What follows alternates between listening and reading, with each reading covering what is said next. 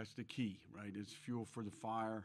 Uh, obviously, it causes you to evaluate a lot of different things.